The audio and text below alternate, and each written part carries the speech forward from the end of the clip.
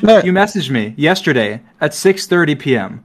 I replied at 6:53 p.m. and I said hi. You didn't reply. 4 hours later, I called you. You didn't reply.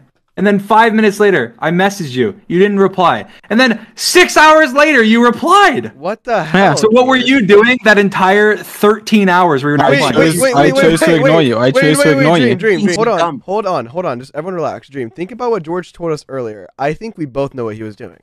He was packing for Florida. That's I'll- true, I'm- I'm actually. telling you- It's ah, my partner. Wait, are you actually live?